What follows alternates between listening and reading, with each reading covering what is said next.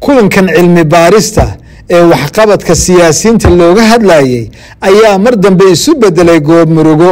Kadib markii xildhibaanad ilhaan cumar ay si qiiraysan uga hadashay dhallinyarada soomaali amerikaanka ee ku dayacan waddooyinka magaalada minneabolis ciyaalkan aad dhehaysiin guriga ha laga buriyo ama ha la dulmiyo iska dhaafa.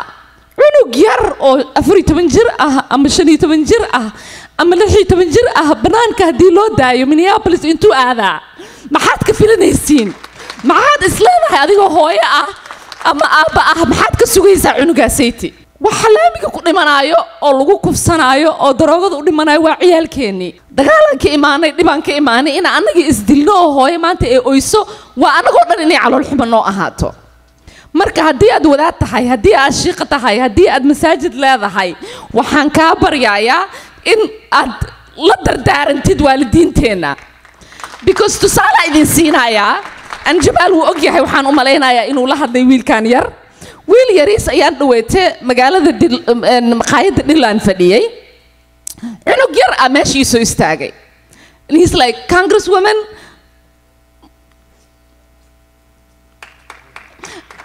waa salaamay hay hay eedo aan ku hay habar yaraan ku dhahay.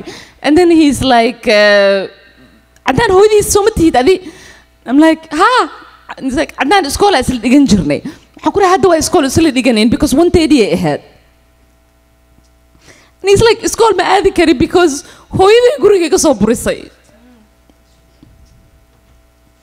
and he's like habar yar toban beri cunto ma cunin meelaan seexdana ma haysti marka fahma intaas toban jir ee america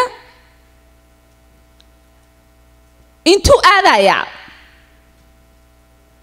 so yes resource wuu jiraa jamaal xafiiskiisa iyo xafiiskaygaa la shaqeeyeen. I think meel in la geeyay i'm not sure waa follow upgrain doonaa. But waa iga celinaya cali waxaan ku dhahay hooyadiis arbaa inaa u tago qol ku xer wax kasta ku suubi anything suubi laakiin cunugaaga bannaanka ha u dirin. Waa idin baryaaya. Midda saddexaad aan mana ku tala jirin tan is i know dad meeshaanayt inay joogaan oo jecel xumaanteenna inay faafiyaan. Oo jecel in soomaali communitiga ay ceebeeyaan. Oo jecel anaka inay narufiyaanaan taas wax annaga faa'iide ee community ahaan noogu jira ma leh inta keliya annaga faa'iido noogu jirto waa inaan isgarab taagnaano.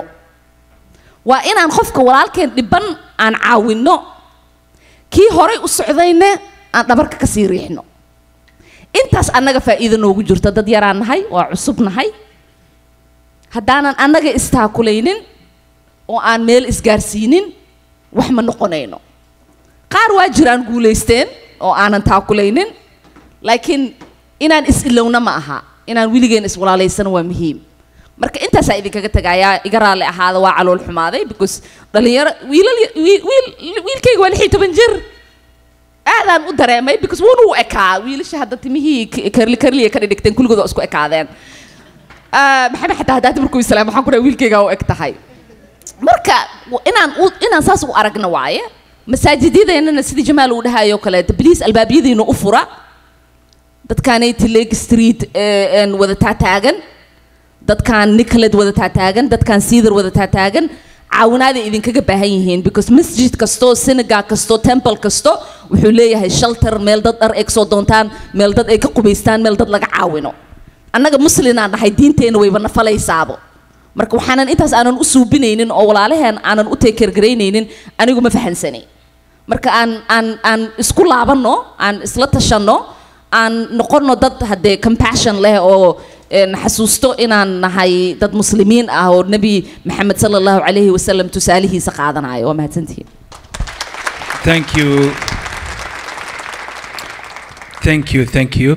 Ugu dambeyntii walaalayaal su'aalo badan oo haray iyo dad badan oo su'aal weydiin lahaa waa ka boodaya